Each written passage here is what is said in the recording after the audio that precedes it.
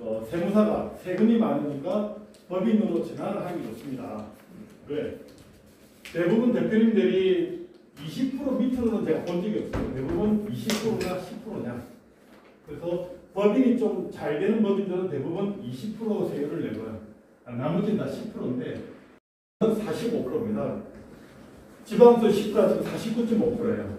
그러다 보니까 법인으로 전환하시면 세금이 쌉니다 해서 법인으로 바꿨는데 막상 바꾸다 보니까 법인세를 내고 난 다음에 내가 급여를 받든 배당을 받든 받으면 또 세금을 또 내는 거예요. 어, 그러면 뭐가 차이냐? 그런데 법인은 합법적으로 세금을 줄 수 있는 방법들이 많아요. 그리고 두 번째, 법인은 아주 투명합니다. 그런데 투명하지 못하는 방법을 쓸 때가 있어요. 우리가 개인과 법인은 돈이 출처가 완전히 다른 거예요. 무슨 말이냐? 내가 일반 사업자는 내 돈이 거 내가 마음대로 쓸 수가 있죠. 그런데 법인은 내 돈과 해당돈은 완전히 다릅니다.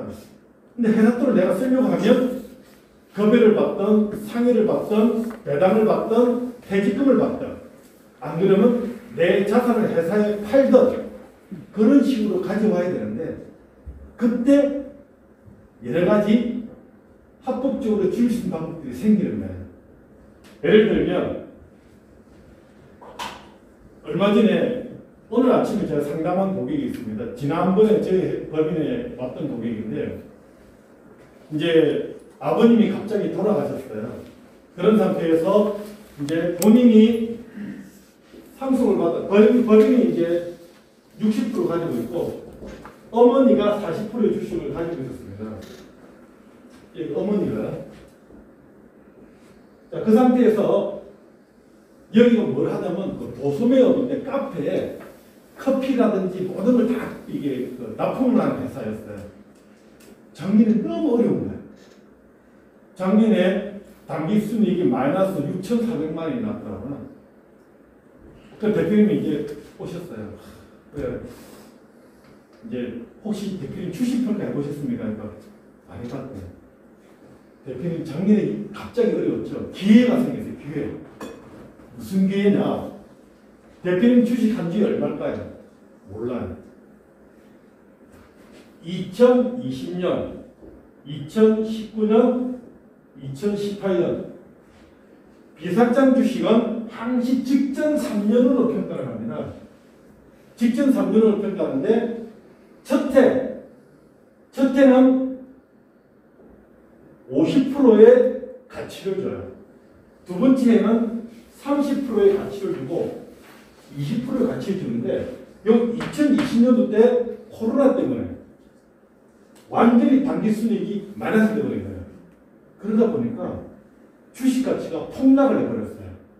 그러면 요 어머니 주식을 내가 가지고 싶으면 자 어머니와 대표는 자식 관계, 부모와 자식 관계니까 특수 관계, 특수 관계. 그래서 특수 관계에는 주식을 옮길 때 항시 시가로 옮겨야 돼요. 그 시가는 우리가 아까 이야기했다시피 일반적으로 거래가 안 되다 보니까 비슷한 주식 평가를 하는데 작년에 폭락을 하니까 이 가져올 때 주식 가치가 확 낮아진 거예요. 그리고 또 하나가 어머니와 자식까지는 10년에 얼마까지 세금을 줄수 있습니까? 증여를 5천만 원까지는 세금 없이 줄 수가 있어요. 그러니까 이게 만약에 작년에 코로나가 안 터졌으면 이 주식 가져올 때 증여세를 갖다가 1억 이상 내야 될 거예요. 작년에 코로나가 터지는 바람에 세금 없이 주식을 가져올 수 있는 기회가 생긴 거예요. 오히려 더 좋죠. 그리고 내년에 이제 만약에 뭐 우리 바람이지만 내년에 백신이 9월달까지 다 맞고 11월달에 만약에 집단 면역이 생겼다. 그리고 소비가 일어났다. 그러면 여기는 어떻게 되겠습니까? 갑자기 또 이익이 커지겠죠. 그러면 자연스럽게 그냥 모든 이익을 이 아들이 다 가져오는 거예요. 이런 것들이 할 수가 있어요. 개인은 안 돼요. 개인 사업자는 내가 만약에 자식한테 회사를 물려주고 싶다. 어떻게 해야 돼요? 그 회사 가치 그냥 그걸 줘야 되잖아요. 근데 법인은 주식이 있기 때문에 이 주식은 정말 중요해요. 이 주식은 제가 진짜 입이 닳도록 말씀드리고 싶어요. 대표님들의 고민의 90%는 주식과 관련된 고민입니다. 자, 그러면